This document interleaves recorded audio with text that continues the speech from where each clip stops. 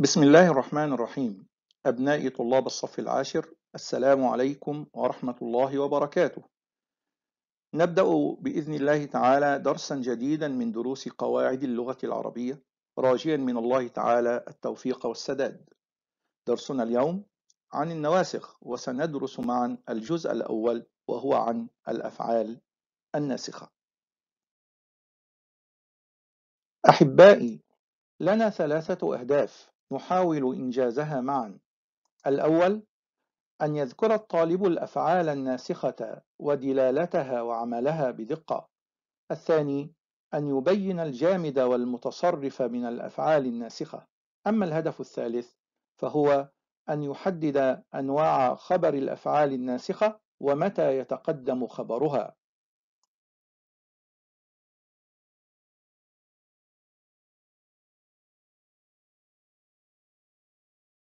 بداية ما أنواع النواسخ؟ نعم أحسنت. أفعال ناسخة كان وأخواتها وحروف ناسخة إن وأخواتها. وحتى نتعرف أكثر على النواسخ فعلى أي الجمل تدخل على الجملة الاسمية أم على الجملة الفعلية؟ حاول إدخال ناسخ على الجملة. الحق منتصر.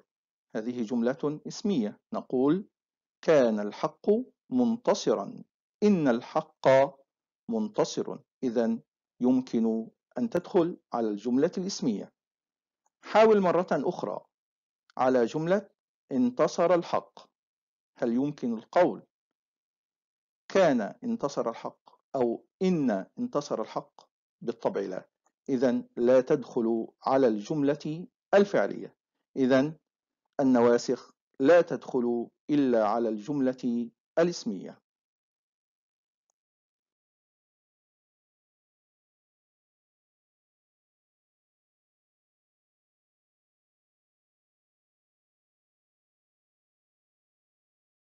هيا بنا ننطلق نحو الهدف الأول. انتبه معي. ما الأفعال الناسخة؟ وما دلالتها؟ الأفعال الناسخة هي أفعال ناقصة تدل على حدوث خبرها في زمن ما. فمنها ما يدل على حدوث الخبر في الماضي ومنها ما يدل على حدوثه في الصباح أو الضحى أو المساء أو الليل ومنها ما يدل على التحويل ومنها ما يدل على النفي ومنها ما يدل على الاستمرار. فالذي يدل على الماضي هو كان والذي يدل على حدوث الخبر في الصباح أصبح وفي الضحى أضحى في المساء أمسى.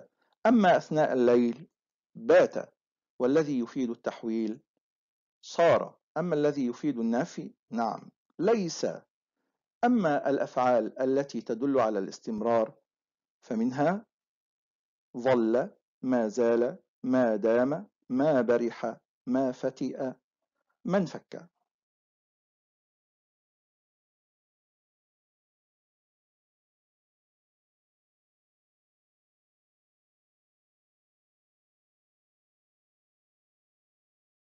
أحبائي قلنا سابقا النواسخ لا تدخل إلا على الجملة الإسمية.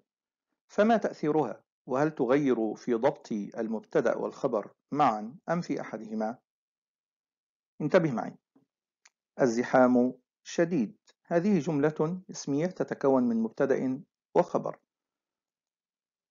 أدخل كان وتأمل. كان الله غفورا. كان الزحام شديدا. إذا التغير حدث في الخبر.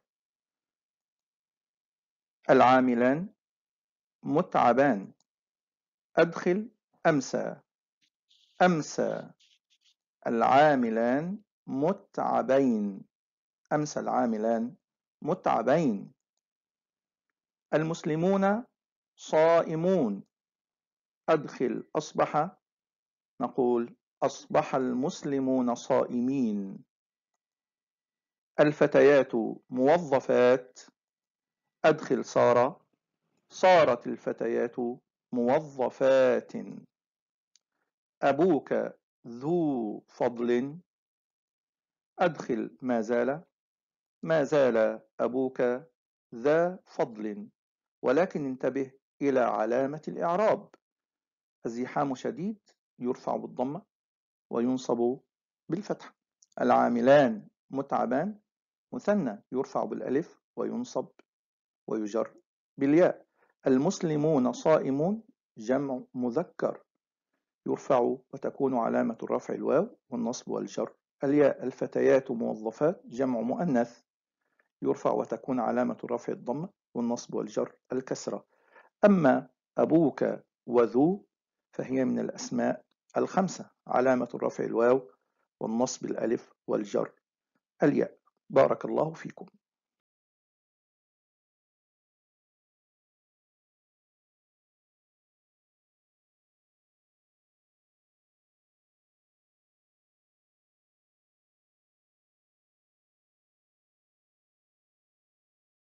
هيا أرني مهارتك.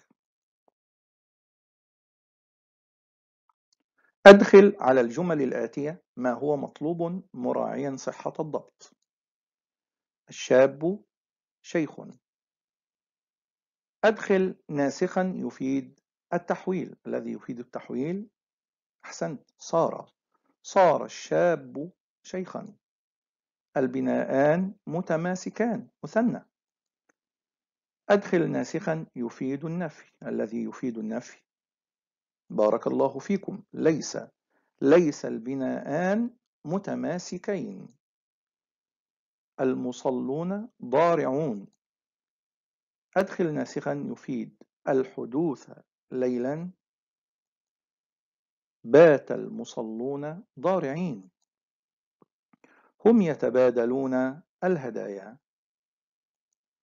أدخل ناسخا يفيد. الاستمرار. الاستمرار كثير. ظل.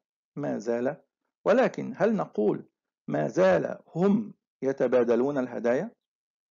عندما أقول لك أنت مجتهد هل أقول كان أنت مجتهدا؟ بالطبع لا وإنما يتحول هذا الضمير الضمير المنفصل هم. أنت يتحول إلى ضمير متصل. نقول ما زالوا يتبادلون الهدايا. أين الاسم؟ إنه واو الجماعة الضمير. فأي ضمير يتصل بناسخ فهو اسم للناسخ. أحسنتم. بارك الله فيكم.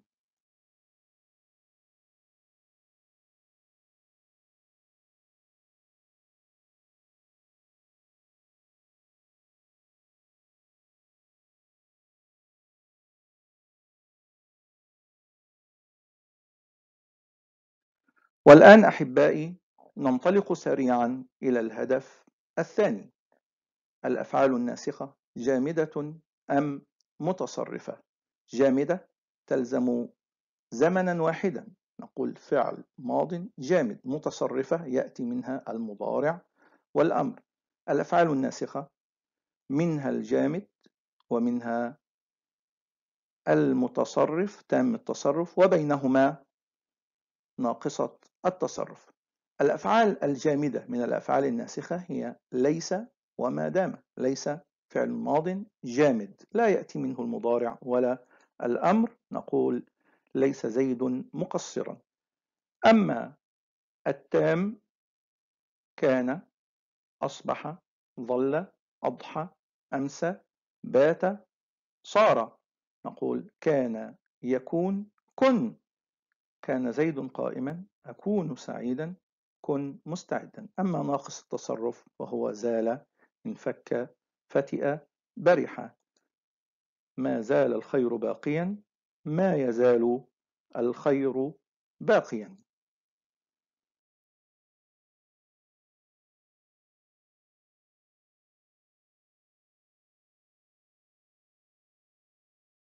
اقرأ الآيات الآتية وتأمل الأفعال الملونة ثم أجب. يقول الله تعالى فأصبح في المدينة خائفا يترقب فإذا الذي استنصره بالأمس يستصرخه. ويقول تعالى ولا يزال الذين كفروا تصيبهم بما صنعوا قارعة أو تحل قريبا من دارهم. ويقول ليس كمثله شيء وهو السميع البصير. أين الفعل الجامد من هذه الأفعال؟ أصبح يزال ليس أحسنت. ليس. أما الفعل تام التصرف فهو أصبح. أما الفعل ناقص التصرف فهو بلا شك الفعل يزال. أحسنتم. بارك الله فيكم.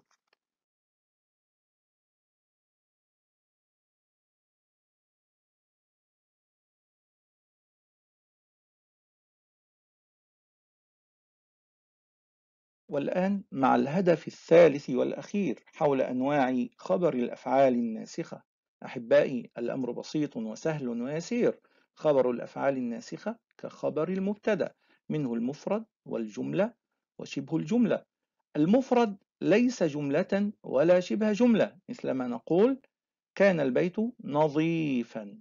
أمسى العدوان صديقين صديقين نعم إنها مثنى من حيث العدد أما الخبر فهو مفرد. خبر الجملة هناك الجملة الفعلية والجملة الاسمية. الجملة الفعلية بات الطالب يذاكر يذاكر جملة فعلية الفاعل ضمير مستتر تقديره هو يعود على الطالب. وكذلك ما زال الكريم يعطي هو. أما الجملة الإسمية أضحى الشجر أزهاره متفتحة. صار البحر موجه هادر. لاحظ وجود ضمير في جملة الخبر يعود على الاسم في كلمة أزهاره الهاء تعود على الشجر. موجه الهاء تعود على البحر. يذاكر هو يعود على الطالب وكذلك يعطي هو يعود على الكريم. أما شبه الجملة فهو الظرف والجار والمجرور. الظرف ليس الكتاب فوق المكتب. الجار والمجرور ظل المريض في بيته. أما الجملتان الأخيرتان أصبح أمامنا مهام مهام اسم ولكنه متأخر. وكذلك كان في المدينة أمير أمير اسم لكان ولكنه أيضا متأخر. هل يمكن أن يتقدم الخبر؟ نعم. بل يجب تقدم الخبر إذا كان اسم الناسخ نكرة والخبر شبه جملة.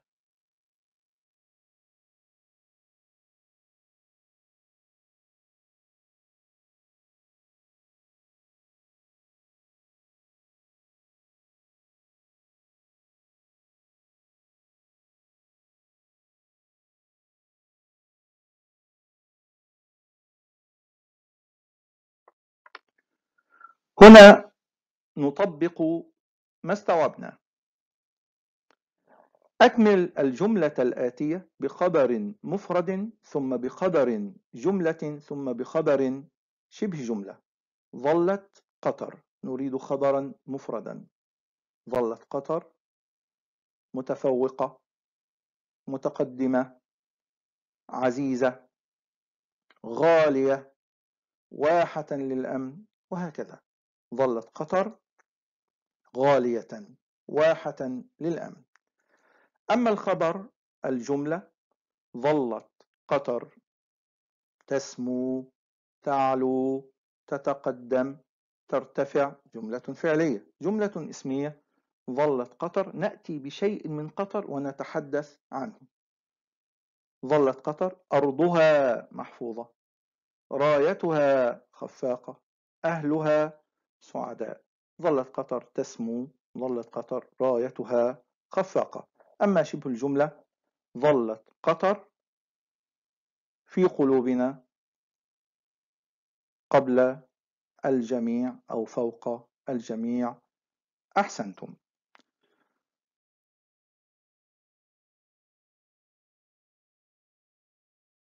أبنائي نجمل ما درسناه في القاعدة. الأفعال الناسخة تختص بالدخول على الجملة الاسمية فترفع المبتدأ ويسمى اسمها وتنصب الخبر ويسمى خبرها. أخوات كان أصبح أضحى أمسى بات صار ليس ظل ما زال ما برح ما فتئ ما انفك ما دام. قد يكون خبرها مفردا أو جملة أو شبه جملة. قد يتقدم خبرها على اسمها في مثل كان في بيتنا ضيف. منها الجامد غير المتصرف فلا يعمل إلا في الماضي ليس وما دام. ومنها ناقص التصرف فيعمل في الماضي والمضارع فقط زال انفك فتئ برح ومنها تام التصرف فيعمل في جميع الأزمنة كان أصبح أضحى أمسى بات صار ظل.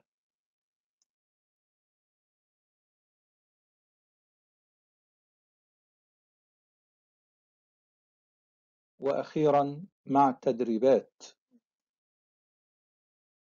السؤال الأول أوقف الفيديو واختبر نفسك.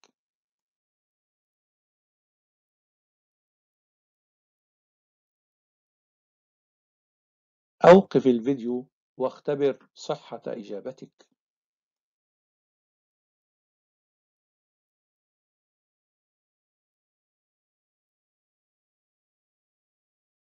السؤال الأخير أوقف الفيديو واختبر نفسك.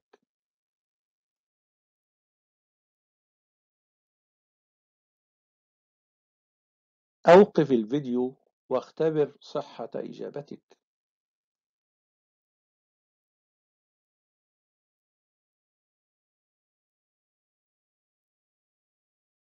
في الختام أشكركم وأرجو لكم التوفيق والسلام عليكم ورحمة الله وبركاته.